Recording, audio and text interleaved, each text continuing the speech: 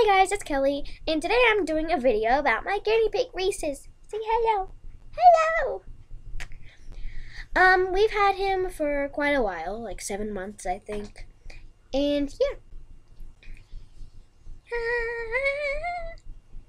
Say hello to the world.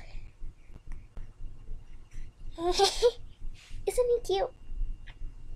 I love him so much. He is is is is mine. My mom has one.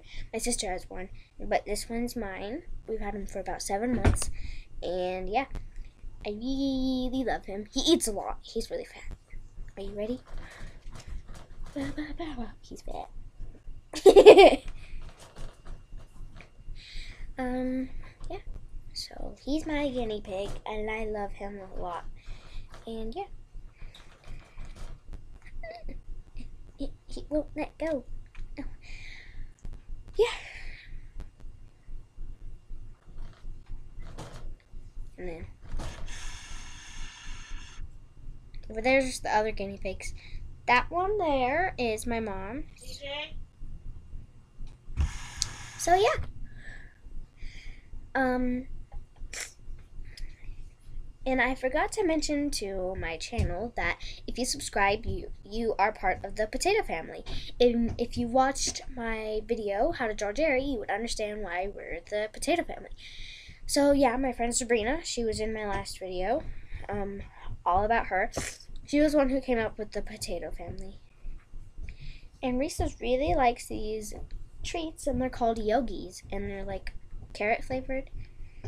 And yeah. And then we got these treats, they were like this long. And he really liked those. They were like, they looked like carrots, but they weren't carrots. And then he, his name is Reese's because he looks like peanut butter and chocolate. See? But he's got some white right here. It's like on those one Reese's that had the little like pictures in the white. That's what that white is. Mm. Say hello. Say hello to the world. Can you say hello to the world? Are you saying hello to the internet world? Yeah.